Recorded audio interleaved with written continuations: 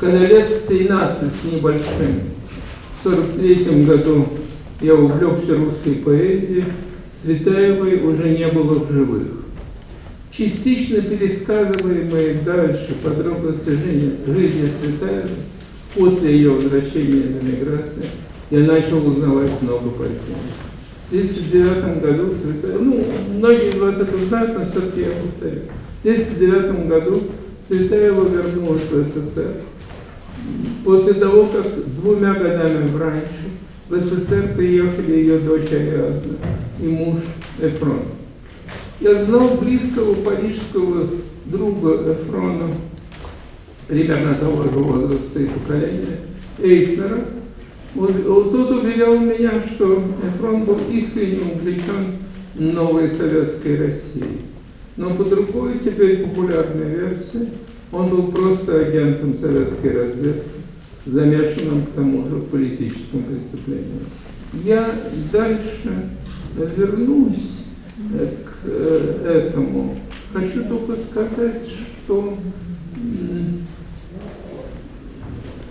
Борис Леонидович Пастернак э, вспоминал, как ему было трудно в Париже, когда он приехал на антифашистский съезд писателей, и его на вокзале встретил фронт, сказавший, что им, Мариной, необходимо, это обязательно должно быть, уехать в Россию, и поэтому он очень просит Бориса Леонидовича ничего дурного России Марине не говорить. Но это проясняет во всяком случае э, точку зрения самого Эфрона, который понимал, что есть что сказать. Дочь Цветаевой Ариадны после приезда работала в редакции журнала «Рубли де Москву», редактором которого был хороший знакомый моего отца, которого я и очень близко знал, э, бывший герой гражданской войны, которым вы можете читать эм, подробно в мемуарах Ларисы Рейси, и комментарность эм, Михайлов, арестованный и погибший в лагере после Второй мировой войны. Он часто приходил к отцу и регулярно пересказывал все собранные им главным образом из радиопередач на разных языках новости о мировых событиях. Это сыграло существенную роль в моем раннем политическом образовании. Но я склонен думать, что Михайлов взял на работу Ариадну именно потому, что э, входил вот в наш небольшой литературный кружок. Вскоре после приезда Марины Ивановны 27 августа 1939 года Ариадна была арестована, а после дочери 10 октября 1939 года арестовали мужа Цветаева и Фрона. В августе 1941 года Сергей Яковлевич был расстрелян. Ариадна после 15 лет заключения ссылки реабилитирована в 1955 году. Э, сестра Цветаевой Анастасия Ивановна, которую я позже немного скажу, после второго ареста в 1937 году была в лагере и тоже была вне Москвы до реабилитации. Марина Ивановна одна осталась с сыном Муром, которого она привезла с собой. Поначалу и он, как и Ариадна, в Париже разделял политические увлечения отца, ну, как бы близкие к тогдашнему комсомолу. Москву в 1980-х годах приехала Лоска, собиравшая материалы для своей позднее изданной книги о Марине Ивановне. Я ей сказал, что из моих старших друзей Цветаева встречался поэт и переводчик Семен Израилевич Липкин.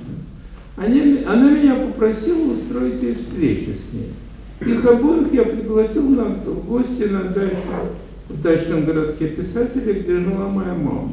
Липкин в тот раз с необычайной обстоятельностью рассказывал о том единственном дне, который он целиком провел с Цветаевой, гуляя с ней по городу. Ни в книге Лоской, ни в воспоминаниях самого Липкина я не нашел письменного текста, соответствующего этому устному рассказу. Приведу сейчас запомнившиеся и занятные его подробности. Семен Израилевич заранее договорился, что они будут вместе весь день встретились, как уславливались перед тем ранним утром. Долго ходили по улицам.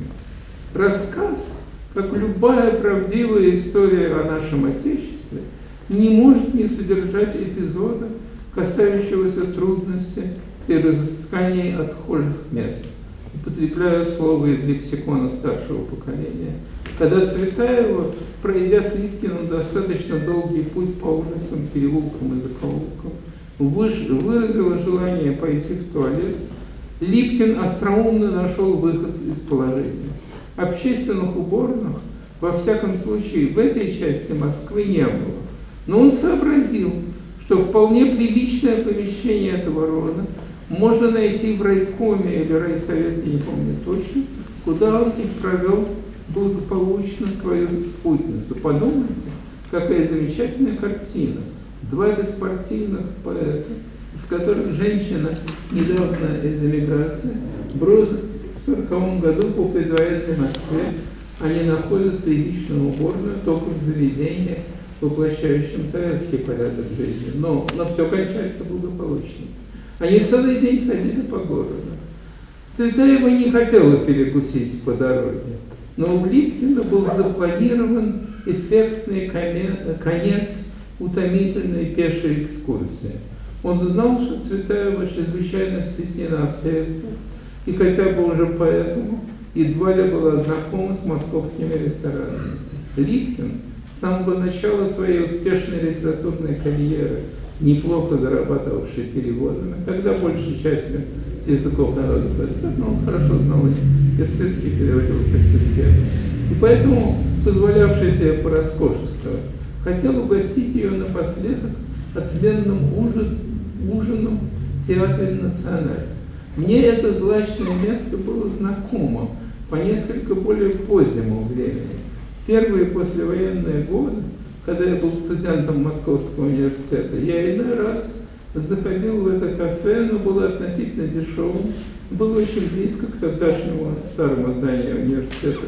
Кухня была отличная, выбор э, блюд несколько снобистский, название изысканное, что-то вроде зубрик Жульен Костевич. Липкин усадил утомленную Цветаеву за столик и принялся выбирать, чем бы ее уделить. Пока он изучал меню, усевшуюся пару разглядывала компания, всегда собиравшаяся в левом углу кафе, и я через несколько лет тоже их всегда видел там. По словам Липкина, главным в компании был вечно пьяный Юрий Олеша. Замечу, что и после всех испытаний эвакуации компания первые годы после войны, как ни в чем не бывало, продолжала собираться в том же дальнем Э, кафе и лет 6-7 спустя эм, после описываемой истории. Степень их пьяного безобразия удивляла и молодых людей. Муж моей сестры, художник Давид Тубинский, брезгливо замечал, что у одного из постоянных спутников Олеши в этом кафе ботинки всегда были одеты на босу ногу. Носки, как и белье вообще, он пропивал. Компания состояла из пинчук, почти превратившихся уже в бомжей. Олеша и его спутники долго рассматривали Липкина и Цветаева. Потом один из них подошел к столику и обратился к Цветаевой с вопросом, который она восприняла как провокационный, вроде того, каково ее здесь наронили. Не отвечая, она немедленно встала и сказала Липкину, что уходит. Он, с ней, он за ней последовал. Роскошный ужин не состоялся. Липкин, рассказывая это нам, считал ее реакцию правильной и находил политический подтекст в вопросе. Возможно, так и было. Много лет спустя Борис Леонидович Пастернак, не склонный подозревать окружающих в качестве, говорил мне, что Катаев и Олешев в переделкине явно следили за ним, как настоящие шпионы. Но в причинах возмущения Цветаевой могло быть и другое. Женя Пастернак – передавая мне свои юношеские впечатления от Цветаевой, говорил, что она прежде всего э, ему запомнилась как благовоспитанная дама. Развязное поведение неопрятных алкоголиков могло и быть отвратительным, даже и безотносительно к возможной политической провокации. Она не хотела ни минуты оставаться в одном с ними помещении. Как было заранее условлено, в определенный час в назначенном месте – Цветаева Липкина должен был встретить сын Цветаева и Мур. Он их уже ждал со строгим выражением лица. Липкин сдал свою спутницу ее сына, и они распрощались. Я так понял, что больше они не видели. Гораздо больше и чаще встречался с Цветаевым, тогдашний близкий друг Липкина, ходивший с ним Аркадием Штадмером и Марией Петровой в одну поэтическую компанию, Арсений Александрович Тарковский, прекрасный поэт, отец великого кинорежиссера. Арсению Александровичу принадлежит целый цикл написанных в основном позже стихов, обращенных к Марине и ее живописующим. Некоторые, как Марина стирает белье, я нахожу великолепно.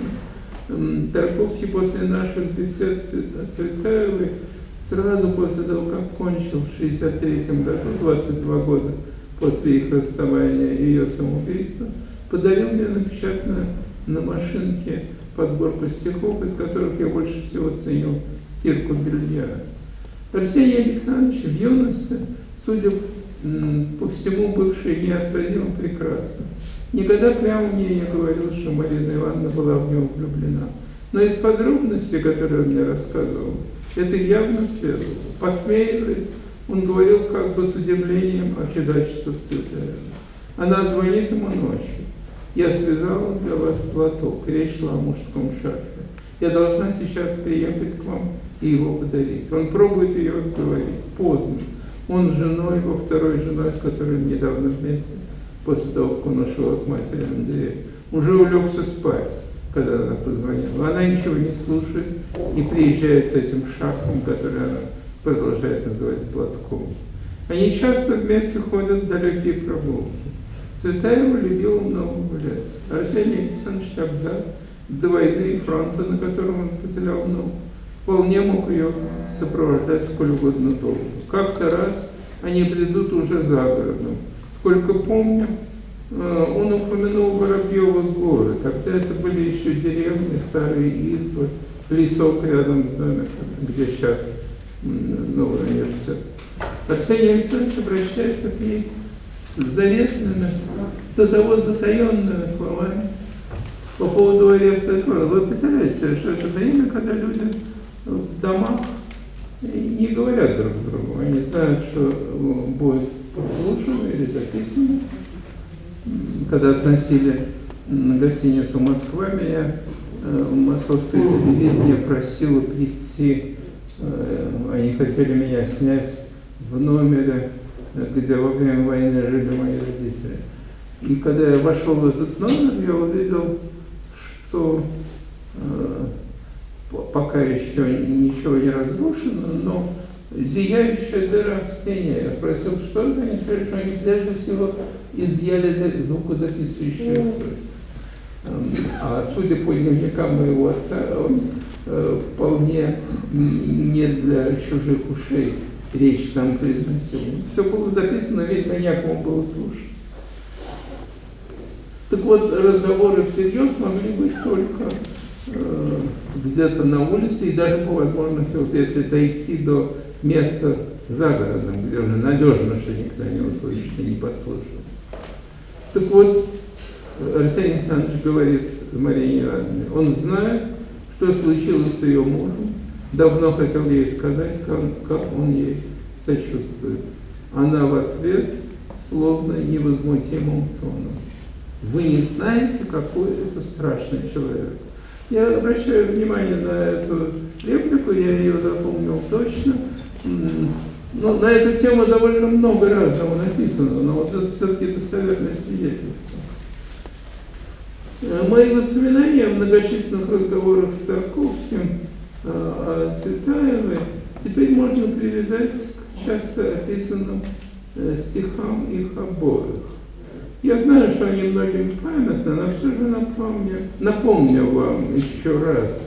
Расставание с Тарковским было в последних стихах Цветаевой, начинающихся переиначенной цитатой из его стихотворения. Все повторяю первый стих и все переправляю слово. Я стол накрыл на шестерых, ты одного забыл седьмого.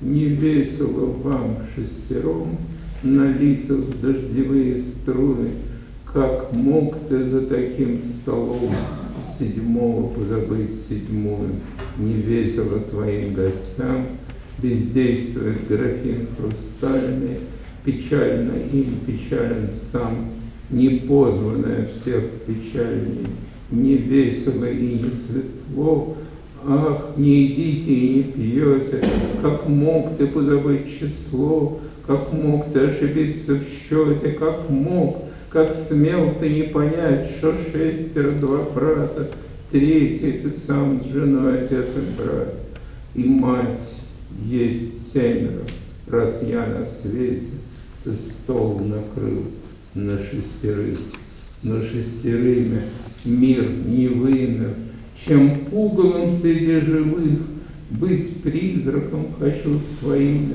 своими, робкая, как вор, о, ни души не задевает, за непоставленный прибор сажусь, незваная седьмая раз опрокинула стакан, и все, что жаждало пролиться, вся соль из глаз, вся кровь из ран, скатерти не на половице, и гроба нет, разлуки нет, стол расколдован, дом разбужен, как смерть на свадебный обед. Я жизнь, пришедшая на ужин, никто, ни брат, ни сын, ни муж, ни друг, и все же укоряют. Ты, стол накрывший наши душ, меня не посадивший с края. 6 марта 41 года. Э, стихи Тарковского с Цветаевой в первой редакции помечены датой примерно недели позже только что приведенных Цветаевских. Еще раз э, возвращаюсь к стихам и э, пытаюсь их понять, сопоставить с Цветаевским. Все-все связалось даже воздух сам. Позднее он исправил, все наяву связалось воздух сам. Вокруг тебя до самых звезд твоих и поясок, каждый твой прямый упругий шаг и угловатый стих. Ты, не отпущенная на поруке, вольна гореть расточать вольна, Подумай только, не было разлуки. Смыкаются, как воды, племена на радость руку, на печаль, на году. Но только бы ты не ушла опять, тебе подвластны гибельные годы. Не надо снова их разъединять. Первая редакция стихотворения 16 марта 1941 года, то есть ровно через 10 дней после того Цветаевского. Вероятно, Арсений Александрович совсем не был ее единственным увлечением в годы после эмиграции. Как-то уже во второй половине 50-х годов на многолюдном званом обеде в воскресенье в Переделкине я оказался соседом Тагера, одной из почитательниц Пастернака. Мы заговорили о Цветаевой. Я не находил Тагер сплетницей, поэтому к услышанному отнесся всерьез. По ее словам, среди присутствовавших на этом обеде было четверо мужчин, которыми в разное время перед, перед войной успела увлечься Цветаева. Я не стал ее расспрашивать, кто именно это был. Разговоры на эту тему возникали с приезжавшими ненадолго русскими эмигрантами. Ту пору, когда я был начинающим университетским преподавателем лингвистики, меня пригласили на обед в честь профессора Мандегауна. Его жена стала похваляться, какой блестящий джентльмен был ее муж. Цветаева по словам супруги Ундегауна, в него влюбилась и писала ему стихи. Я взволновался, что за стихи ничего в этом не знал, вроде читал все, что мог о Цветаевой. Супруги Ундегауна рассказали, что было два стихотворения, посвященные ему, они затерялись. Я не мог понять, э, как профессор, занимавшийся историей русского языка, мог потерять стихи Цветаевой. Он для меня просто перестал существовать. В отличие от Липкина и Тарковского, более молодые русские поэты советского времени, по-видимому, с Цветаевой не общались. Борис Слуцкий мне говорил, что он сидел в очереди в приемной кого-то из начальников госиздательства. Появился Пастернак с дамой, которую Слуцкий и сидевшие с ним рядом поэты не знали. Пастернак провел даму к издательскому начальству. Позднее они узнали, что это была Цветаева. Очевидно, атмосфера страха, окружавшая приезжую иммигрантку, вся семья, которая была арестована, была так сильна, что молодые поэты, которые легко могли бы с ней познакомиться, хотя бы через Асеева, ее очень ценившего и им хорошо знакомого, хотя бы через Грик, молодые поэты боялись об этом подумать. Когда я стал часто встречаться с Ахматовой с конца 1958 года, в одном из первых откровенных разговоров она мне рассказала о том единственном разе, когда встретилась с Цветаевой. Как обычно, при очередном приезде в Москву Ахматова остановилась в Иваново. Она и тогда, и потом была уверена, что в этом доме за ней следят. Было ли это ее фантазия, или же у этого были какие-то основания, не знаю. Но она полагала, что и Светаева испытывала подобное ощущение. Из того, что они хотели бы сказать друг другу, ничего не получалось выразить. Говоря ахматовскими словами, это была не встреча. Я, может быть, слишком настойчиво говорю об этой э, ужасной акустике тех лет, но я думаю, что это важно для, тех, кто с трудом может себе представить, э, в каком э, аду жили люди, для которых общение с помощью слов было важным, а оно было невозможно. Я помню Ахматову на вечере э, ленинградских поэтов после войны в колонном зале. Я видел, что Ахматова плакала, когда Пастернак читал свой реквием. Вместе с другими эвакуированными писательскими детьми в конце августа или начале сентября 1941 года я был в Чистополе на камере. Мы знали, что Цветаева мимо Чистополя проплыла дальше по камере. На том же пароходе плыла к нам в Чистополь моя няня, Цветаева на пароходе видевшая. В 70-х годах меня разыскала и по телефону продиктовала свой рассказ на Цветаевой «Лейтес». Содержание рассказа совпадает с тем, что знала и Лидия Королевна Чуковская, и другие люди из писательского круга, видевшие Цветаеву, когда она приезжала в Чистополе в Елабуге. По их словам, в частности по словам Лейтес и Чуковской, для Цветаевой уже была приготовлена в Чистополе комната, где она с сыном могла бы жить. Как будто вполне реально была и работа, которую она могла получить в Чистополе. Иначе говоря, ее самоубийство никак нельзя объяснить только ситуацией в Елабуге, откуда она как будто уже могла уехать, и тем более в Чистополе, где все было готово к ее переезду. С сыном Цветаевой Муром я познакомился в Чистополе на улице, вскоре после того, как он туда переехал после ее смерти. Он был старше меня и намного выше. Мне только исполнилось 12. Мне он казался очень взрослым. Говорили о положении на фронте, за которым я следил внимательно.